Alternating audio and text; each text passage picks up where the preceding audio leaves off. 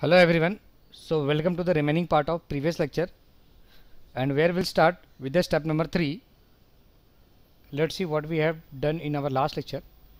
In last lecture we have find Lagrange's function and uh, after finding the Lagrange's function then we have calculated stationary point that is x1 and x2 at the same time we have also calculated Lagrangian multiplier that is nothing but lambda 1 and lambda 2 and after that we'll go to the step number 3 and uh, in the step number 3 here we'll find Hessian border matrix.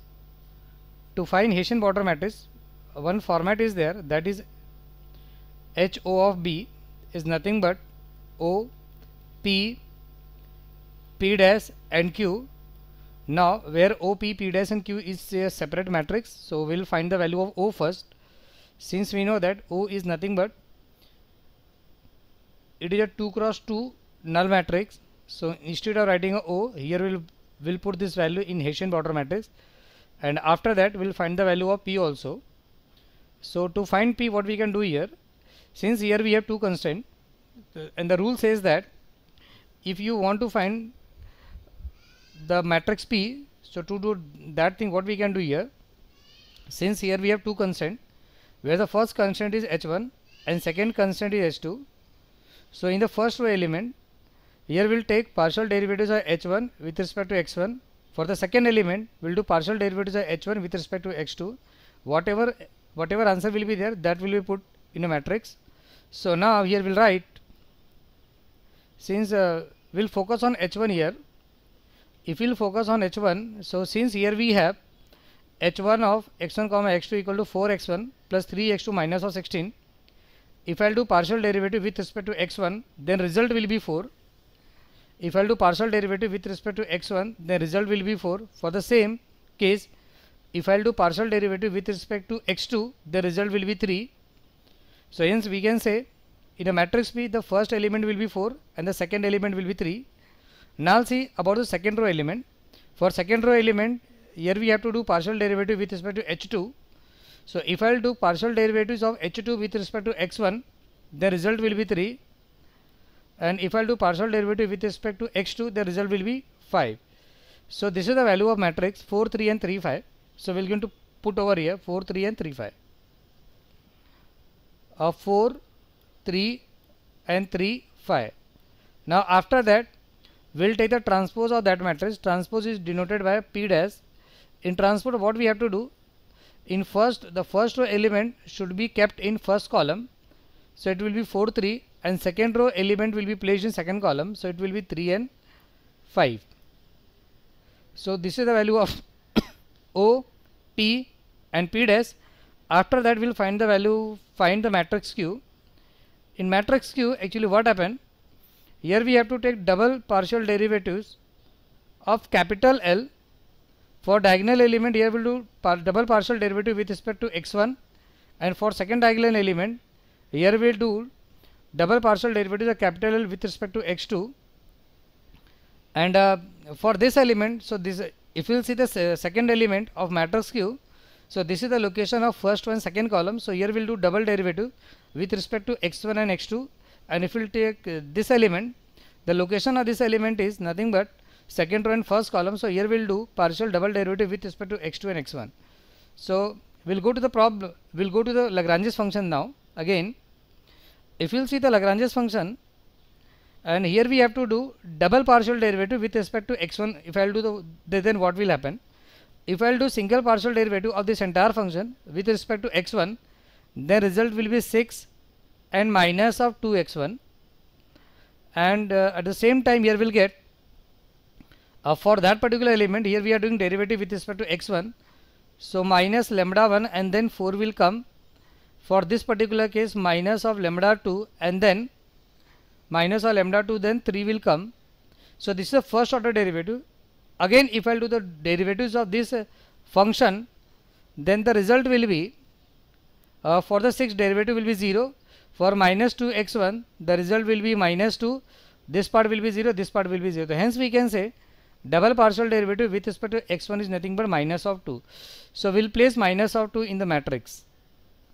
So here minus of 2 will be there.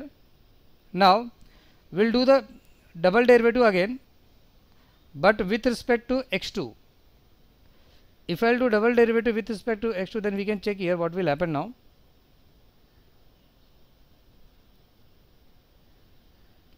if I'll do double derivative uh, with respect to x2 then here we can say uh, 6x1 will be 0 and 8x2 will be 8 x1 square will be 0 and x2 square will be minus or 2x2 and then after that minus or lambda 1 and this will be 0 and 3x2 will be 3 now similar case with the another function also and 5x2 will be 5 so since we can say this is the first order derivative again if I'll find second order derivative of this answer then is, uh, for 8 it will be 0 minus 2 x2 will be minus 2 since here we are doing derivative with respect to x2 and this part and this part becomes 0 so minus 2 will be the answer over here. So here we'll write minus of 2 so this will be minus of 2 now if we take this element here we have to do, do double partial derivative with respect to x1 and x2 since x1 and x2 is not coming together in form of multiplication if we see the function L here x1 and x2 is not coming together in form of multiplication so here derivative is not possible. At the same time x2 into x1 is also not coming together in form of multiplication so the again derivative with respect to x2 and x1 will be again 0 so now uh, this element will be 0 and this element will be 0 so now we have calculated individual element of the Hessian border matrix so we'll put the, all the values over here. If I'll put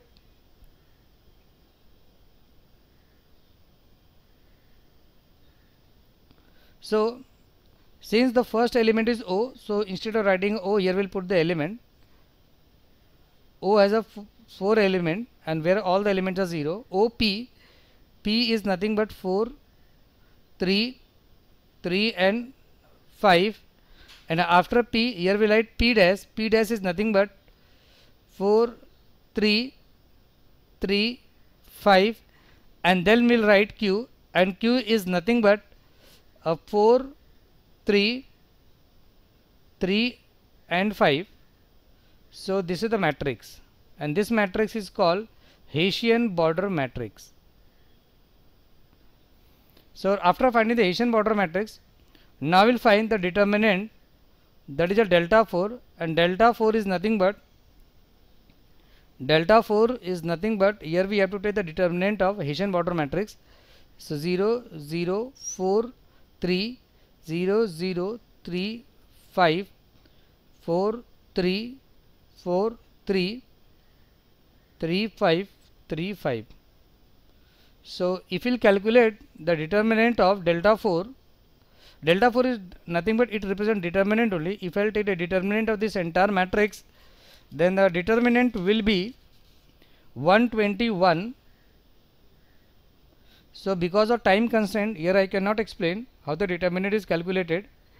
And because it is a basic part also if you want to learn how the calculation of determinant is done for 4 cross 4 matrix and for 5 cross 5 matrix for 2 cross 2 matrix and 3 cross 3 matrix then you can learn. But you will have to visit a new playlist which is created by me and the name of the list is engineering mathematics basics. So I am writing here engineering mathematics basics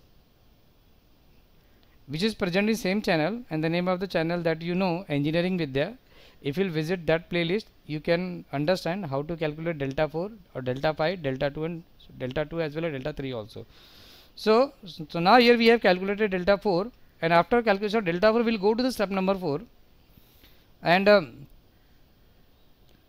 at the step number 4 now there here we'll have to write the here we'll have to write the conclusion. Now now read the statement. Here they are saying in such case we cannot define the maxima or minima right?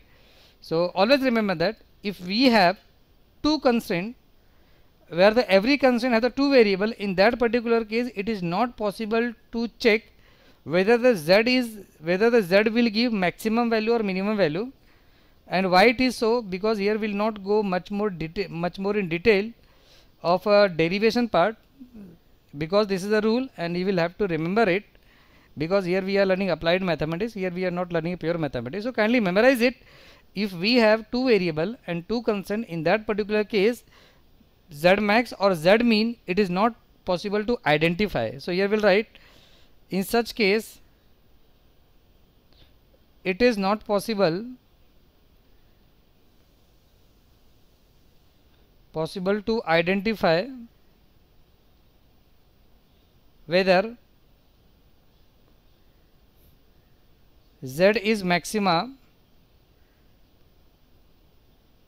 or minima at z0 z0 nothing but stationary point. So now we'll go to the step number 5 and step number 5 instead of finding a z max or z min here we'll write z optimize. So optimize value of z is nothing but to write a z again we'll have to write the uh, objective function so since we know that objective function was nothing but 6x1 plus 8x2 and minus of x1 square and minus of x2 square and so we'll put the values here also. Since already we have calculated the value of x1 and the value of x1 was nothing but 35 by 11 that already we know. That we have calculated at the step number 2 and the value of x2 also we know. And it is nothing but 12 by 11 so now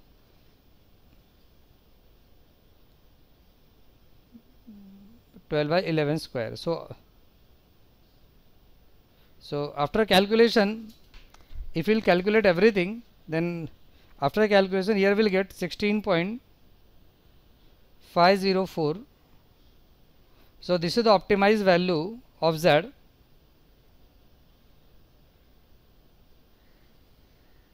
So this is the end of the problem and end of the calculation as well. Thank you